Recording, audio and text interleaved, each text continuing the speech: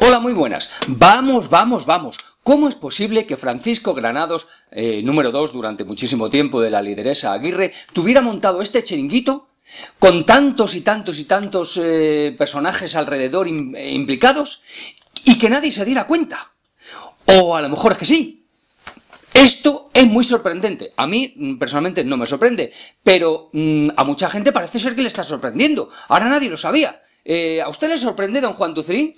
Pues a mí tampoco me sorprende, porque desde hacía ya mucho tiempo casi todo el mundo sabía o sospechaba las cosas que pasaban en demasiados ayuntamientos de este país. Yo creo que realmente lo que sorprende a la gente de esta operación y de otras que estamos viendo últimamente no es lo que hacía esta gentuza, sino que estén siendo detenidos y juzgados por ello los presuntos delincuentes.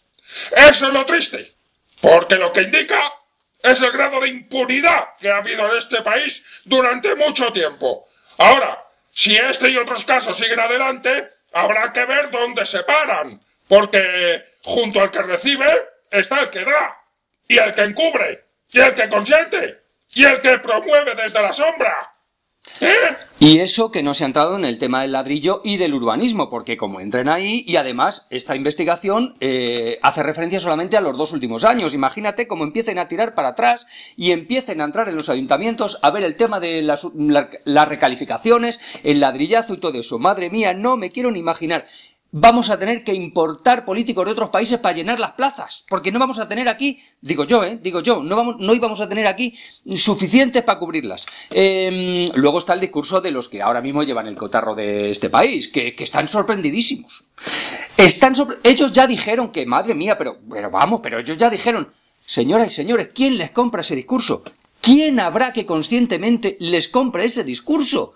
Pues todavía, todavía los hay, todavía los hay.